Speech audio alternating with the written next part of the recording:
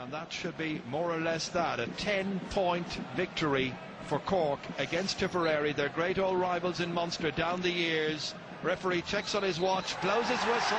It's all over at Uí Chaoimh, and the Munster champions of 2009 and 8 have been beaten, and beaten decisively.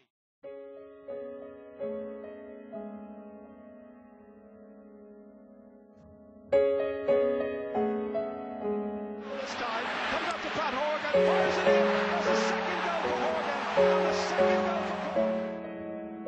know how big this game would be for us. Um, but, you know, we're just really, really disappointed because you know, we, you know, we just didn't perform to any level. But you know, you have to give full credit to Cork. They, they just didn't let us play today. And, you know, we're, we're, we're immensely disappointed. I don't think the players that have failed to play for the last number of years will, will, will, will relish kind of meeting them all and, and, and, and beating them all. This is the fighting day. I was saying at half time, the second half is going to define. This is the fighting day for Tip. Now, what do they do after the day?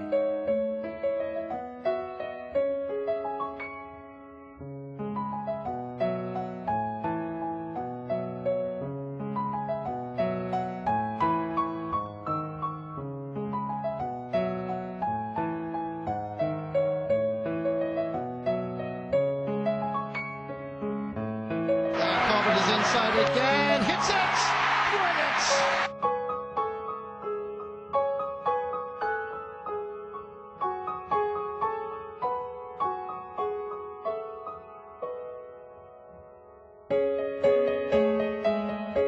Last 10, 15 minutes, we haven't really been finishing out the game. But you know, we, we go in, as I said, and that, that's the area we've got to work on for next week.